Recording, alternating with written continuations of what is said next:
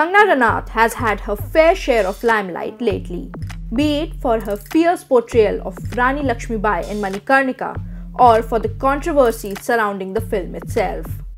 And the actress is once again talk of the troll town, this time for a behind the scene video of the same movie.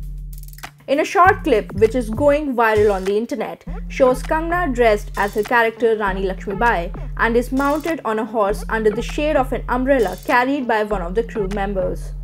Now the funny part starts from the moment when at the cue of Roll British Force, the extras dressed as the English army start galloping on horses from both sides. Kangna shouts and fights them away with her sword, but all while riding a dummy mechanical horse. Here is the clip. British horse.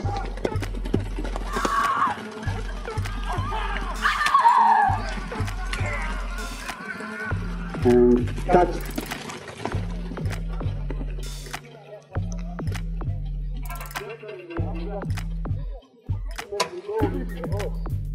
Ever since the clip has emerged on the internet, the troll army has gone crazy over it.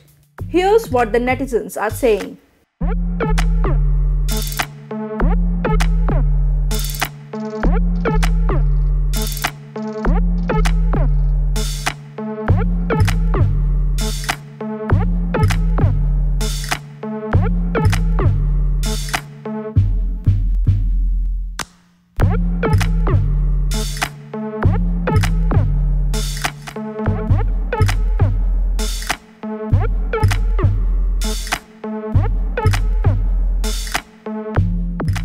Has stirred up a storm by accusing actors of ganging up against her.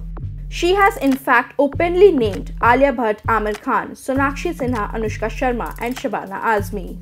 Kangna has also announced that she will next direct her own biopic.